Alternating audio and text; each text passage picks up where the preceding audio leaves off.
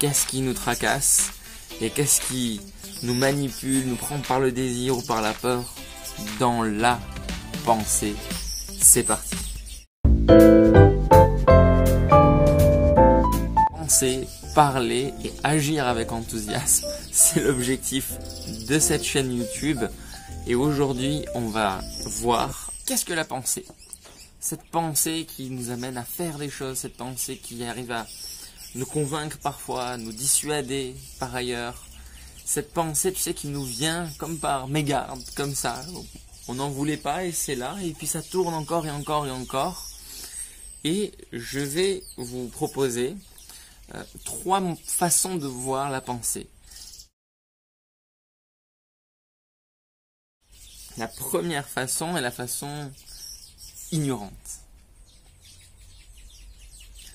Cette façon ignorante, c'est on ne sait pas qu'il y a des pensées. Et on les prend pour vraies. Ça vous est déjà peut-être arrivé, ou alors vous avez vu des gens dans cette situation-là. Il, arrive quelque chose et puis on dit ben ça m'arrive tout le temps à moi. Euh, un tel pense ça de moi. Euh, regarde comment il m'a regardé, etc., etc.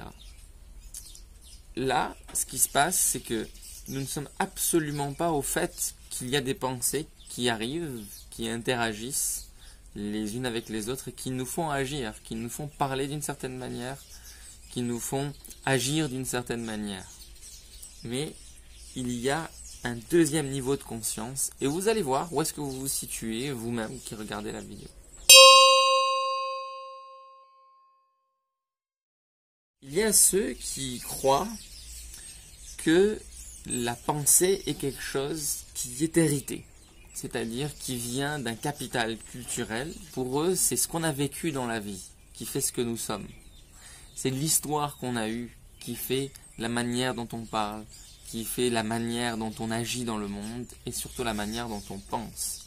Ce mode de, vision, de point de vue du monde dit aussi que vous n'êtes pas euh, la seule personne à influencer votre vie.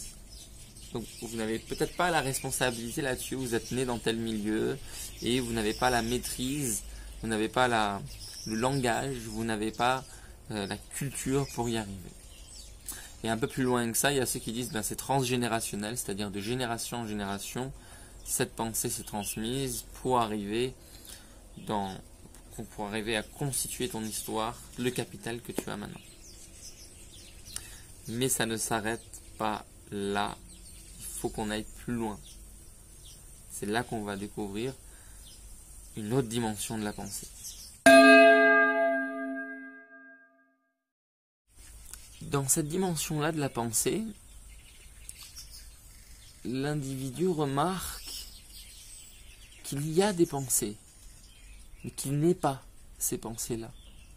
Il ne s'identifie plus à ces pensées, et son histoire est une histoire.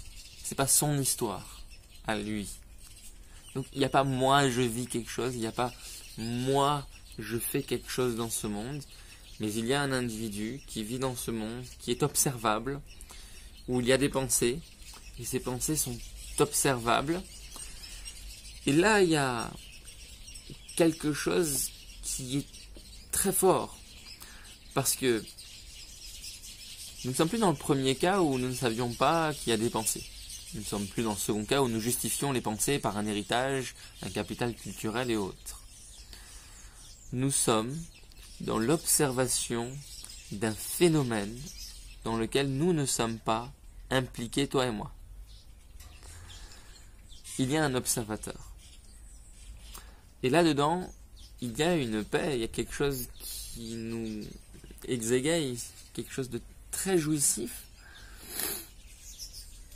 parce qu'on voit qu'il n'y a pas d'interaction avec celui qui observe, avec cette présence qui perçoit l'instant présent et toutes les pensées qu'il y avait avant. Et alors qu'il regarde, les pensées se structurent. Elles s'apaisent d'une part, et d'autre part, elles se structurent. Voilà, chers amis, les trois modes de pensée on a une chose à retenir, si vous aviez une chose à retenir de cette vidéo, qu'est-ce que ce serait? Quel est votre positionnement, votre point de vue par rapport aux pensées, par rapport à ce que vous vivez aujourd'hui? Est-ce que pour vous, la pensée, c'est quelque chose qui vous arrive? Est-ce que pour vous, la pensée, c'est quelque chose qui est hérité?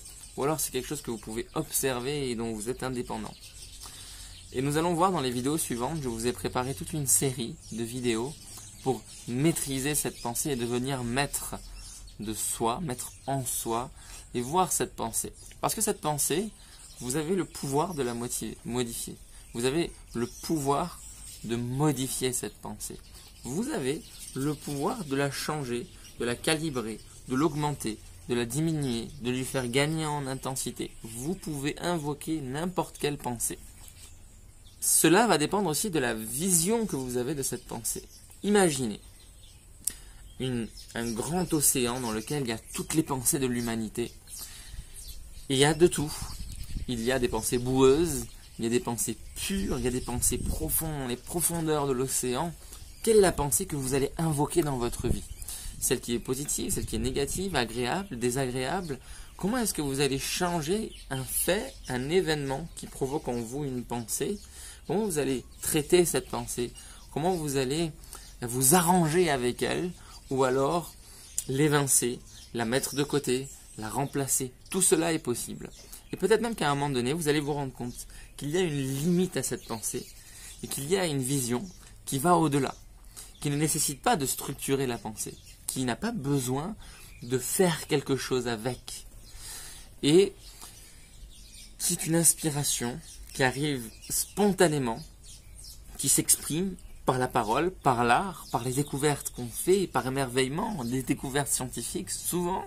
Mais ce que je vous souhaite aujourd'hui, à travers cette vidéo, c'est d'entendre les voix qu'il y a en vous, de ne plus avoir peur de ça, de ne plus les fuir, de ne plus vous distraire. Parce que pour vous faire une confidence, cette marmotte qu'est la pensée qui tourne sans cesse et qui te fait tourner en bourrique, eh ben, elle n'a pas de fin. Tu ne peux pas l'arrêter. Seulement, tu peux passer par-dessus. Tu peux sauter par-delà en le voyant. Telle est la clé. Voir la pensée, voir ce qui se passe en toi, voir tes émotions, voir ce qui se produit lorsque quelque chose t'arrive d'agréable ou de désagréable, quand tu t'attaches ou quand tu dois te détacher. Voir la vie qui se présente devant toi, qui s'exprime devant toi.